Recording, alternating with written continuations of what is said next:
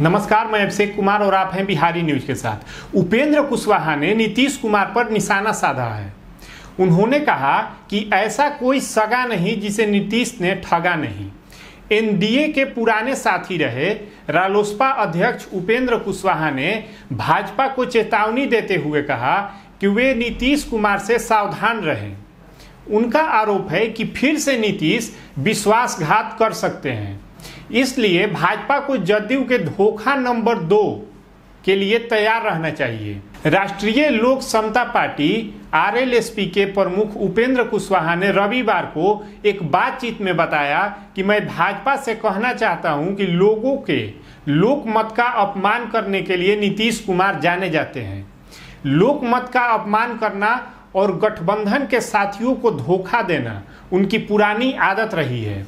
भाजपा को धोखा नंबर दो का गवाह बनने के लिए तैयार रहना चाहिए।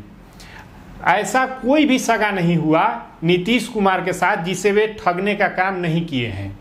रालोसपा प्रमुख ने नीतीश कुमार पर आरोप लगाते हुए कहा कि ये कहावत जल्द ही एक्शन में बदलने वाली है।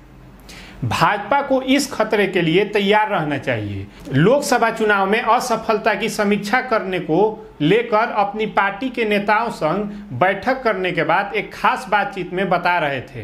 पहले एनडीए, फिर महागठबंधन, फिर बाद में एनडीए में शामिल हो गए थे। नीतीश कुमार, ऐसा उन्होंने कहा। आपको पता होगा कि गुजरात के तत्कालीन सीएम नरेंद्र मोदी को 2014 के लोकसभा चुनावों के लिए भाजपा की अभियान समिति का प्रमुख बनाया गया था, जिसके लिए नीतीश कुमार ने जून 2013 में ही भाजपा से नाता खत्म कर लिया था। इसके बाद नीतीश कुमार ने राजद और कांग्रेस के साथ मिलकर महागठबंधन बनाया था और बिहार विधानसभा चुनाव में जीत दर्ज कर सरकार बनाई थी।